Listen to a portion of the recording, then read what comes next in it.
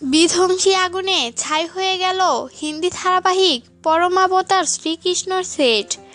জানা গিয়েছে, গতকাল সোমবার হঠাৎ করেই মুম্বাইয়ের নৌগাঁওয়ে অবস্থিত এই ধারাবাহিকের সেটে আগুন লেগে যায়।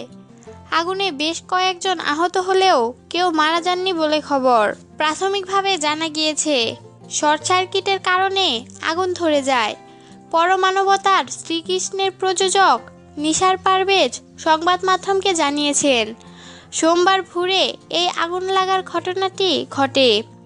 স্টুডিওটির একটি স্টোররুম থেকে আগুন ছড়ায়। শ্রীকৃষ্ণের পালক পিতা নন্দর বাড়ি হিসেবে তৈরি করা সেটটিতে আগুন লেগে যায়।